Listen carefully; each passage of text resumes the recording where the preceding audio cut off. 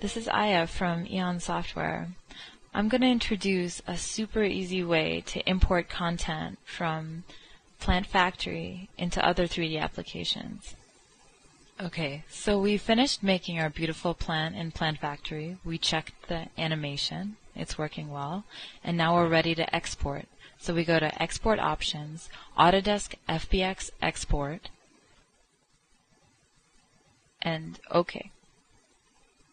So now that we exported our plant from Plant Factory, we want to import it into 3ds Max properly. So you want to go to Max Script, Run Script, and find plantfactoryimporter.ms. So we open that up, and right when we open it, on the right hand side, you see TPF importers. And then we have, you know, bump, specular, and translucency, things you could pretty much leave at one, but if you want to, you can try to adjust it. Um, and then under that, we have import FBX for mental ray, import for V-Ray, and import for basic. Um, we're going to do mental ray, so we just click on that, and then we select our plant, and our plant should import into 3ds Max with all its textures connected, and it should be pretty much ready to go for a render. So now that you have your tree in Max, you want to create a nice lighting setup. So the first thing you want to do is go to Views, Viewport Background, Environment Background to create a nice blue gradient. The next thing you want to do is go to Render Setup and make sure that everything is set to Mental Ray.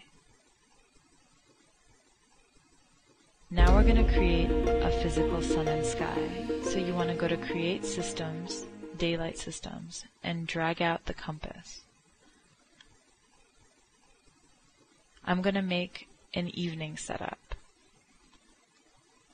It's really important that you go to the daylight parameters and set the sunlight to mental ray sun and the skylight to mental ray sky. Once that is done, all you really want to do is make sure that the exposure is set how you want it to be set. So check for the mental ray photographic exposure. Make sure your values are set and then all you really need to do is set up your camera. Now that I have just one object, I'm just going to use a target camera. And you can animate it as well. Um, for this one, I'm just going to have a still shot. And then all you have to do is make sure that your render setup is connected to the right camera, and then you just hit render. And then you get this beautiful tree.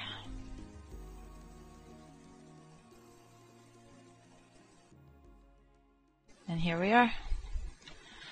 Thank you for watching.